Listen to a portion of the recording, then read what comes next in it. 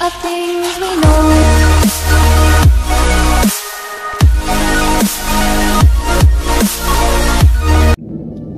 Pew pew pew pew pew. What's going on, guys? Happy Gamer Guy here, a lit streamer from Mixer.com. Check me out at Mixer.com backslash the Happy Gamer Guy. Thank you so much for tuning in and checking out another tip from your boy, the Happy Gamer Guy.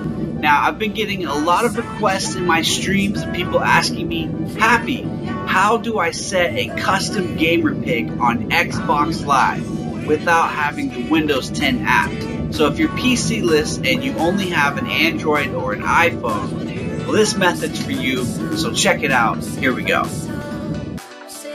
Okay guys, so here we are on my Samsung Android device and I'm going to show you the app that you need to install to set a custom gamerpic on Xbox Live.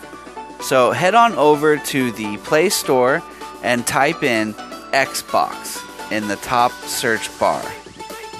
It's going to bring up two options. You have the original Xbox app and then you have the Xbox Beta. Now, the Xbox Beta is the app that you want to install and will allow you to set a custom gamerpic without having the Windows 10 app.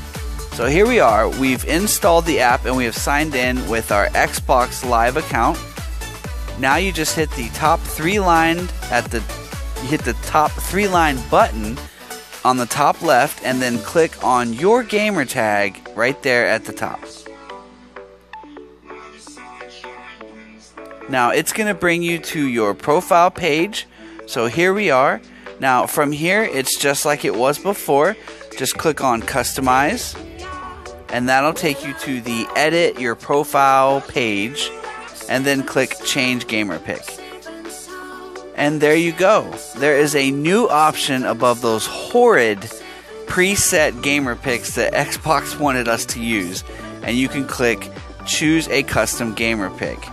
Now it'll bring up all the options of, you know, from OneDrive, photos, file explorer. I'm just going to choose gallery and then pictures and there it is. That is the gamerpic that I already have set. So from here, you just resize the circle and then hit upload, and you're done. You have set a custom gamerpic for your Xbox Live account, guys. Now, keep in mind that you can also use this method to set a pick for your squad on Xbox. So, if you have a club on Xbox and you want to set a custom pick for your club on Xbox, you can also do that with this app. So I think that that's great as well. As you can see, I have the Happy Squad Club and am able to set a custom background and picture for my Happy Squad Club. So there you go, people. So I hope you enjoy and I hope this tutorial helped you set a custom gamerpic for your Xbox Live account.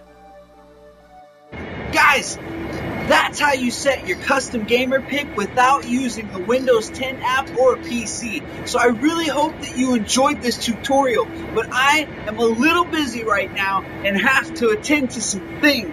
So, happy gaming guys! Roger that fire torpedo!